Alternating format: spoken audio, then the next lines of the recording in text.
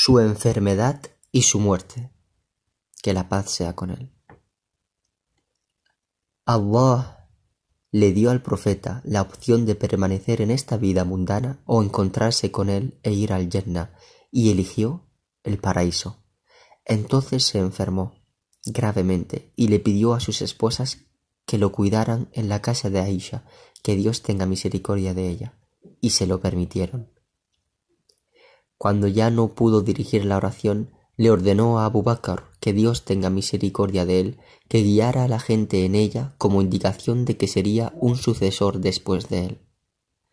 El lunes 12 de Rabbil Owel, once años después de la Égira, el profeta, que la paz sea con él, salió ante la gente mientras rezaban en la oración del Fajr, levantó la cortina y abrió la puerta para que pudieran verlo les indicó que completara la oración mientras les sonreía. Luego, durante la mañana, falleció.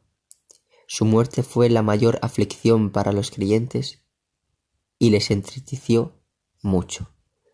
Luego la gente se reunió y prometió lealtad a Abu Bakr, que Dios tenga misericordia de él, como líder de los musulmanes.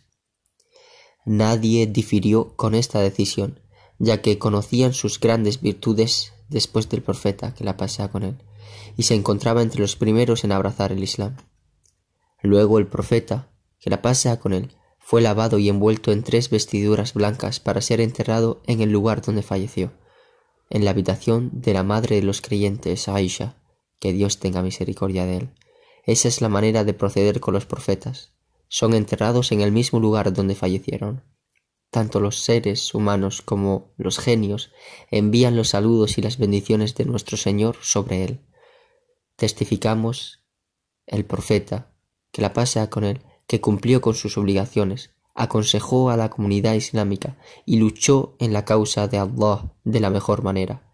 Así que rogamos para Allah lo recompense en nombre de su nación, y todas las alabanzas son para Allah, Señor de todo lo que existe.